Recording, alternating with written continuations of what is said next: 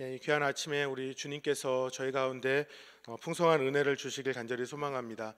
이 예레미야서는 어, 무거운 시대의 상황을 점점 더 실제적인 상황 속에서 하나님께서 벌어질 일들을 계속해서 말씀해 주십니다. 어, 어제 구절이었는데 11절을 보면은 20, 43장 11절은 이런 말씀을 하죠. 장차 바벨론 왕 느부갓네살이 반드시 애굽을 쳐서 바로의 왕좌 위에 그의 장막을 지을 것이다. 어, 그가 또 애굽 땅을 치고 죽일 자를 죽이고 사로잡을 자를 사로잡고 칼로 칠 자를 칼로 칠 것이라. 그러니까 유다의 남은 자들은 바빌론의 보복을 피하여서 애굽으로 도망하였습니다. 어, 그런데 애굽으로 도망하였지만 거기에서도 바빌론의 칼난을 어, 피하지 못할 것이다라는 하나님의 말씀입니다. 어, 그런데 오늘 이 말씀을 보면 이들의 범죄는 그곳에 가서 우상을 숭배하고 어, 그곳에 가서 이제 하나님 앞에 이렇게 심판을 받는데 어, 왜 이런 일이 이들에게 벌어졌는가? 더 정확히 말하면 하나님께서는 하나님의 사랑하는 백성인데 왜 그들에게 이러한 심판을 허용하셨는가라는 질문입니다. 어, 그 문제는 하나님께 있는 것이 아니라 바로 이스라엘 백성들에게 있다는 것을 알게 됩니다. 오늘 1절에서는 이렇게 말씀하죠. 애굽 땅에 사는 모든 유다 사람 곧 믹돌과 다마네스와 높과 바드로스 지방에 사는 자에 대하여 예레미야의 말씀이 이만이라. 어, 이 말씀에부터 보면은 여러 지명을 거론합니다.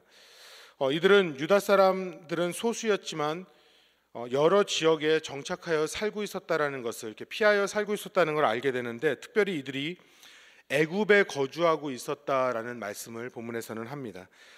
즉 하나님께서는 애굽으로 가면 어려운 상황이지만 애굽으로 가면 하나님께서는 이들이 포로 되게 할 것이고 칼로 칠 것이고 기근과 전염병으로 심판을 내릴 것이다 이렇게 그 경고하지만 유다 백성들은 이러한 경고에도 불구하고 애굽으로 갔다는 것입니다.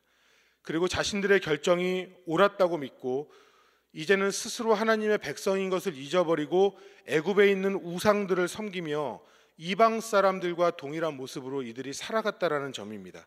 하나님께서는 이 말씀을 이들에게 해주시는 것은 이들의 잘못된 영적인 모습에 대한 경고와 동시에 이 말씀을 주심으로 듣고 그들이 돌아오기를 하나님은 바라셨다는 것이죠. 그런데 이 말씀 속에서 저희들이 가질 수 있는 중요한 영적인 원리가 한 가지 있습니다. 그것은 하나님께서는 하나님의 백성이 어디로 가든지 무엇을 하든지 어느 자리에 있든지에 관계없이 자신의 백성을 하나님은 지켜보고 계시고 그 삶에 함께하며 간섭하신다라는 중요한 사실입니다.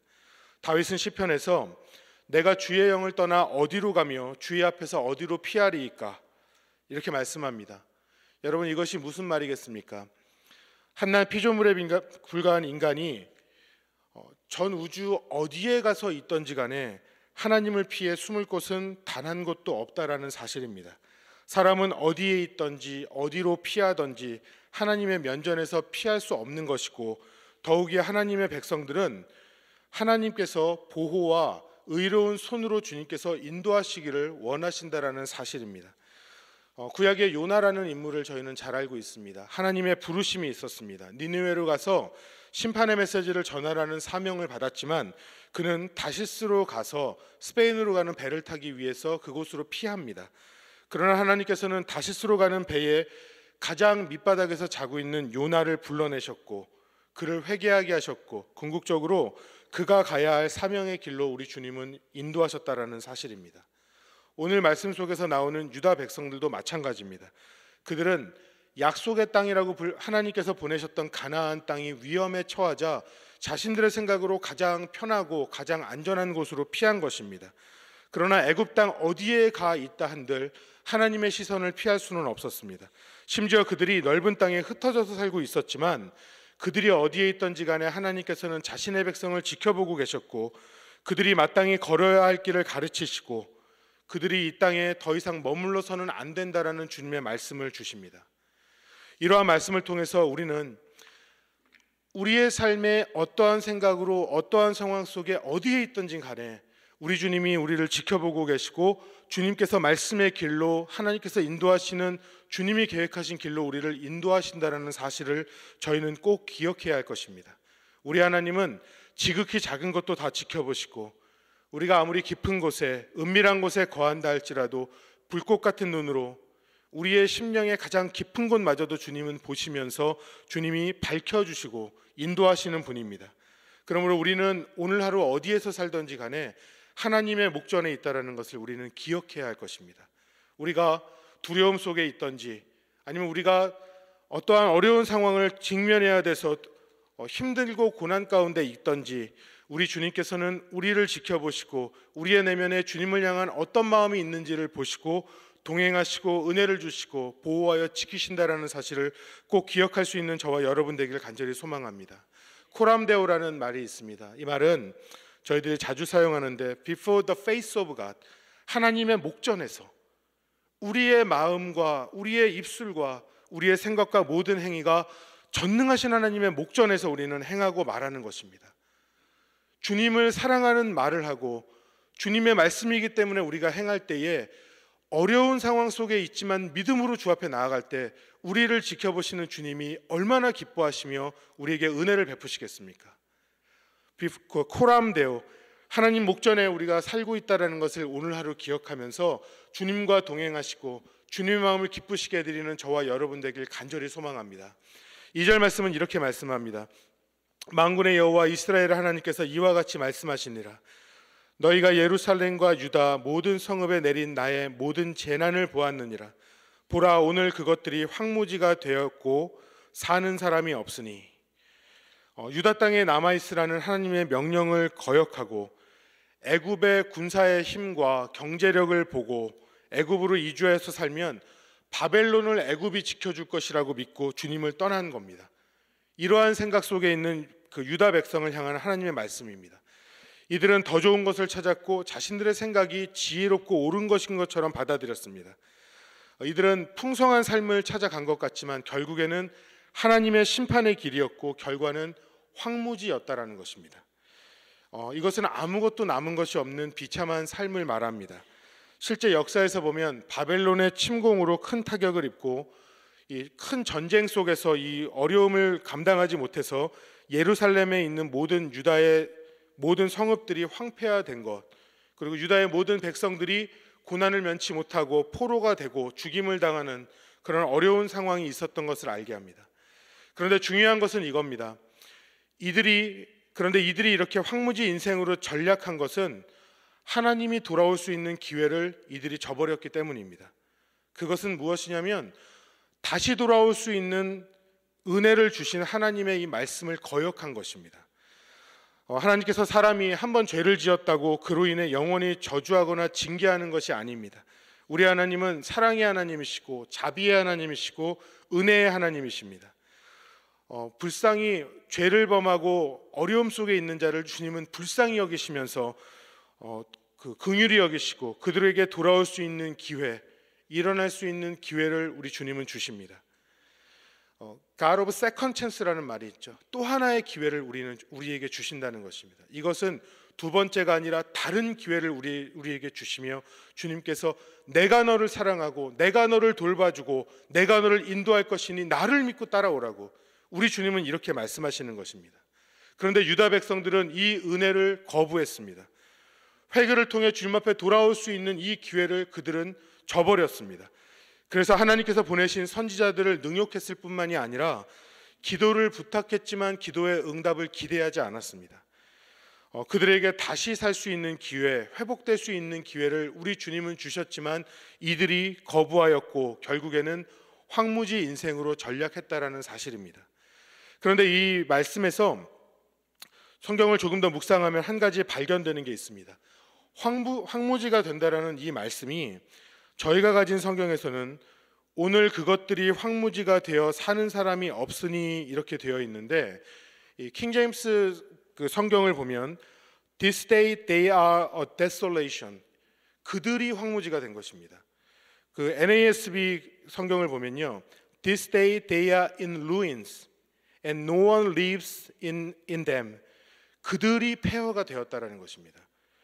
이 황무지의 사전적인 의미는 경작할 것이 아무것도 없는 버려진 거친 땅일 것입니다.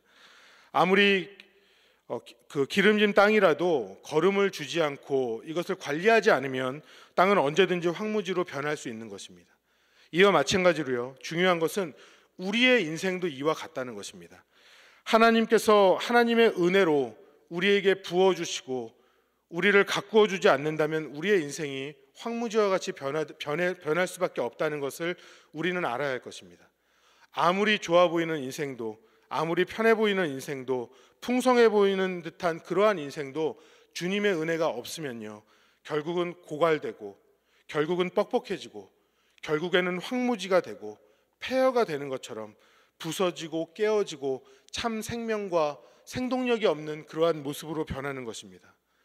제가 오래전에 대학교 다닐 때 그 오래된 중고차를 가지고 다녔는데 이 차가 어, 연도는 오래됐지만 잘 달리는 차였습니다. 아무리 문제가 없었고 어디를 가도 어, 괜찮았는데 관리만 잘하면 졸업할 때까지 어, 탈 수 있는 차였습니다. 그런데 문제가 없으니 그냥 다니다가 어, 제가 정기 점검을 그렇게 잘 안 한 것입니다. 어, 그래서 하루는 달리는데 차 뒤에 머플러에서 어, 대포 소리처럼 펑펑하는 소리가 이제 났습니다. 조금 달리면서 아 뭐를 밟았나 보다 하다가 좀 있다가 앞에 본네트에서 펑 하는 소리가 나고 차가 서면서 연기가 이렇게 쫙 올라왔습니다. 어, 원인이 뭐였, 뭐였겠습니까? 오래된 차니까 엔진 오일이 조금씩 샌 겁니다. 그런데 제가 이 엔진 오일이 새는지를 잘 모르고 그냥 그러려니 하고 타다가 결국에는 오일이 다 떨어져서 이 엔진의 실린더에 기름이 없으니까 결국에는 이 쇠가 쇠끼리 마찰을 하다가 이것이 이제 터진 거죠. 어, 문제가 뭐였냐면 이거는 결국 제가 매일 잘 달리니 아무 문제 없다고 생각했는데 괜찮다고 생각했는데 어, 오일이 없으니까 어, 이것이 엔진이 터지고 망가진 것입니다.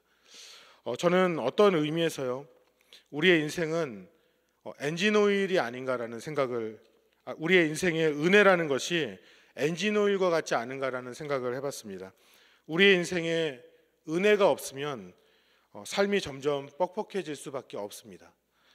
그리고 어, 시간이 지나면 어, 영적으로 계속 피곤해지고 힘이 없어지고 결국에는 터져버리고 망가져버리는 것 같은 모습이 우리의 모습이 아닌가 생각합니다. 하지만 은혜 그 은혜에 우리의 심령에 하나님의 은혜의 손길이 닿으면 우리의 삶은 달라집니다. 은혜가 있으면 죽었던 심령이 새롭게 살아납니다. 이것이 과거에 이스라엘 백성들에게도 있었던 동일한 사건입니다. 과거에 이스라엘 백성들이 애굽에 있었을 때를 여러분 생각해 보시기를 바랍니다. 그들의 삶은 한마디로 말해서 열매를 거둘 수 없는 불모지와 같은 황무지와 같은 삶을 그들은 살았습니다. 매일매일 압제를 당하고 신음은 소리를 내고 물론 어, 먹는 것이 있었는지 모르고 위협을 당한지 않았는지 모르지만 하나님의 은혜가 없는 곳이었기 때문에 그들은 신음 소리만 낼 수밖에 없었고 생명이 없었습니다. 그런 그들에게 하나님의 손길이 임하였을 때가 여러분은 언제입니까?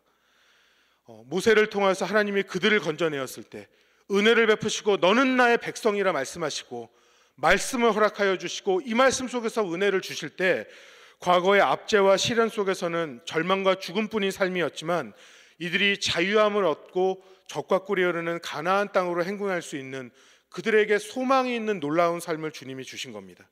참으로 그들에게 하나님의 은혜는 메마른 황무지와 같은 그들의 삶을 옥토로 바꾸고 축복의 동산으로 바꾸어 주신 것입니다.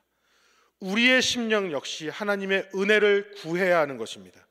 마태복음 15장을 보면 가나안 여인이 나옵니다. 그 여인은 그 여인의 딸이 하나 있는데 귀신 들려서 매일매일 사는 것이 고통스럽고 견디기 어려운 지경에 있었습니다. 어, 예수님께 도움을 구하지만 예수님은 처음에는 대답하지 않으시다가 나중에 자녀들의 떡을 개들에게 던짐이 마땅치 않다. 예수님 이렇게 말씀하시는데 그 여인이 절하면서 이런 고백을 하는 거예요. 주여 올소이다마는 개들도 제 주인의 상에서 떨어진 부스러기를 먹나이다.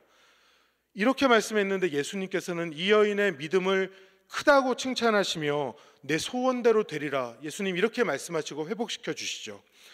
저는 이 여인이 구한 이 부스러기의 은혜 이것이 너무나 귀하다고 믿습니다. 귀신 들려서 비참하게 고난당하고 있는 그녀의 딸의 삶이지만 그 딸로 인해서 온 가족이 고통을 당하고 있는 삶이지만 주님께서 주시는 부스러기의 은혜만 있어도 이 딸이 나을 것이라는 것입니다. 이 부스러기의 은혜만 있어도 황무지와 같은 심령이 새롭게 변화될 것이고 부스러기의 은혜만 있어도 어, 고난 속에 있고 소망을 잃어버린 그 인생이 치유되고 회복된다라는 사실입니다. 사랑하는 여러분, 우리의 삶도 이와 마찬가지인 줄로 믿습니다. 주님이 부어주시는 이 부스러기의 은혜, 그 은혜만 있어도 저와 여러분, 우리의 인생은 충분합니다. 부스러기의 은혜만 있어도 우리는 치유되고 우리의 인생이 회복될 것입니다. 주 예수님께서 부어주시는 생명과 능력의 은혜로 우리는 날마다 변화되고 소망을 가지고 사는 것입니다. 오늘날을 우리가 주님 앞에 살아갈 때에 묵상하고 기도할 때에 주님 황무지와 같은 내 오늘의 삶에 하나님 은혜를 부어 주시옵소서. 부스러기와 같은 작은 은혜라도 주님이 주시기만 하면 회복될 줄로 믿습니다. 내 황무지 같은 심령에 주님의 놀라우신 은혜로 생명이 소생하게 하시고 새 소망이 있게 하시고 능력 갖고 살게 하여 주시옵소서. 우리가 기도할 수 있기를 간절히 소망합니다. 오늘 이스라엘 백성들 이들의 모습을 보면서 주님은 어디에서든지 우리를 보고 계신다는 것 그리고 은혜가 없으면 황무지와 같이 된다는 것을 보았습니다. 우리가 오늘 하루 주님 앞에 주님의 목전에서 살아가고 있음을 인식하시고 우리의 입술과 우리의 행동과 마음을 하나님 앞에 내어드리고 주님이 기뻐하시는 전 인격적인 삶을 살기를 소망하고 우리 주님 앞에 매 순간 주님 은혜를 주시옵소서 운전대를 붙잡을 때 일하며 사람을 만날 때에도 주님 은혜를 주시옵소서 우리가 간절히 기도할 수 있는 저와 여러분이 되기를 간절히 축원합니다. 이 시간에 함께 기도하겠습니다.